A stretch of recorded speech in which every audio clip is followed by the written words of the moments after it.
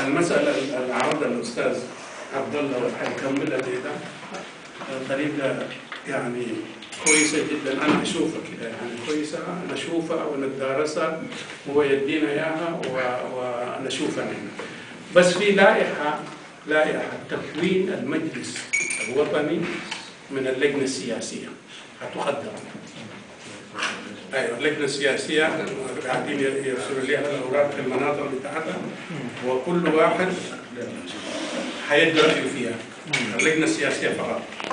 بعدين لما نجي هناك ال- المفوضيه كلها هتدرس المسألة دي عشان تقدمها كورقه في المجلس.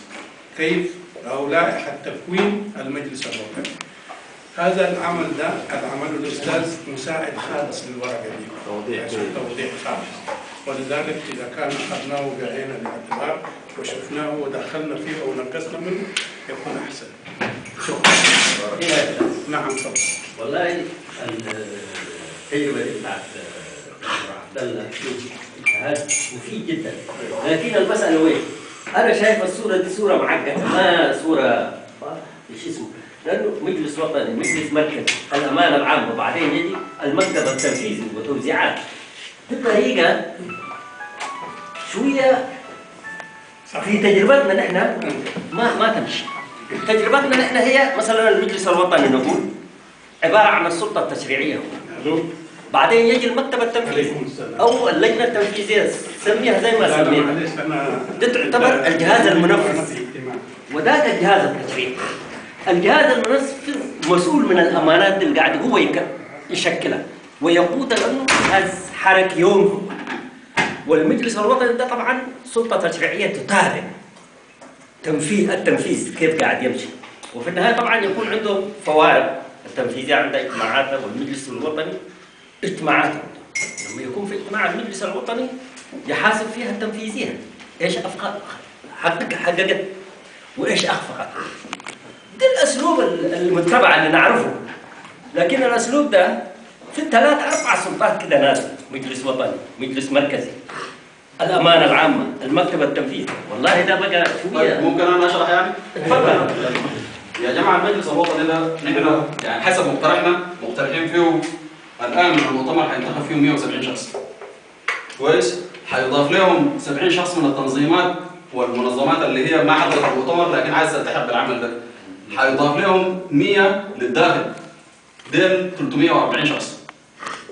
ده ده في بعد ما يعني يسقط النظام حنضيف 100 من الداخل. عشان يكون ده المجلس الوطني الانتقالي مع بعض. ال- الأرقام دي أرقام كبيره جدا. ما نقدر نفرغها يعني ما ممكن يكون عندنا بس في المرحلة دي 170 من وين نجيب قروش؟ نفرغ 170 يقعدوا في اديس ابابا كويس؟ على هذا الأساس قلنا إنه من ال 170 ده نفسهم يطلعوا ناس. أنا مقترح إنه 41 شخص. ديل يكونوا مفرغين جالسين في اديس ابابا في المر- المركز الرئيسي للعمل. ديل ال 41 شخص ديل يشتغلوا لنا الشغل بتاع بتاع المجلس الوطني. ليش يكون في مجلس وطني وليش يكون في مجلس مركزي؟ الآن حندخل مؤتمر وحتلقى صراعات كل واحد عايز يعني في دلوقتي مقترح ال 170 ما كافي. في ناس قاعدين يقولوا 170 في المجلس الوطني ما كافي. في ناس قاعدين يقولوا انه يكون يعني أرقام خرافية. كويس؟ كل ناس منطقة عايزين يمثلوا نحن في أستراليا عايزين تمثيل. ناس أوروبا عايزين تمثيل ببلادهم ناس أمريكا عايزين تمثيل. المنظمات السياسية يعني آه، أرقامهم عدد كبير. كلهم عايزين يمثلوا في المجلس الوطني.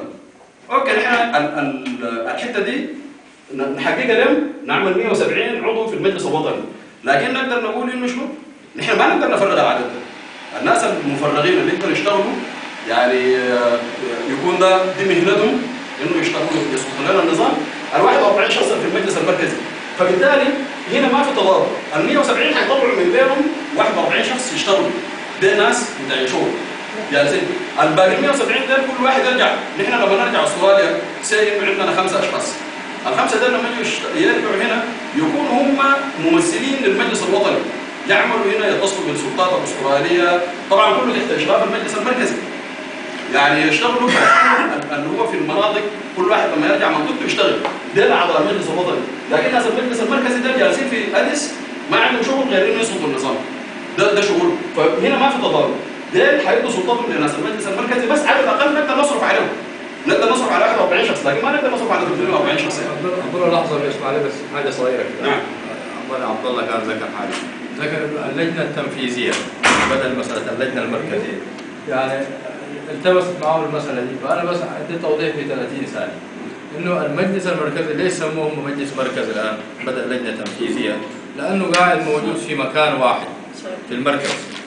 زمان إحنا اللجان التنفيذية بتاع التنظيمات يعني ممكن واحد يكون في القاهرة واحد في بغداد واحد في كذا وعندما القدرة على الحركة يقطع التذكرة من هنا في الإمكانيات المالية. ديل بس هو نفس اللجنة التنفيذية لكن يعني بسلطات أوسع وتكون في مركز واحد متواجدين في مكان واحد.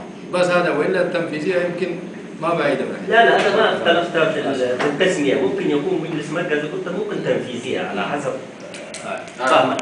بس هنا المجلس الوطني نشيل المجلس الوطني ده دوره شنو؟ ما أنا قاعد أقول لك. دور إيه بس المجلس الوطني؟ ده يعني هسه نحن نفترض بس ناس الصورات سلطة تشريعية. سلطة تشريعية. أيوه من السلطة التشريعية تطلع سلطة لكن تنفيذيه سلطه سلطه سلطة إش- إشراف مركزي.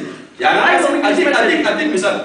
هسه ناس التحالف عندهم عندهم حاجة اسمها ناس ال ال ال يعني غير المكتب التنفيذي بتاعهم عندهم سل- سلطة أعلى منهم. اللي هو القيادة المركزية. القيادة المركزية بتاعتهم. دي أشبه بالقيادة المركزية.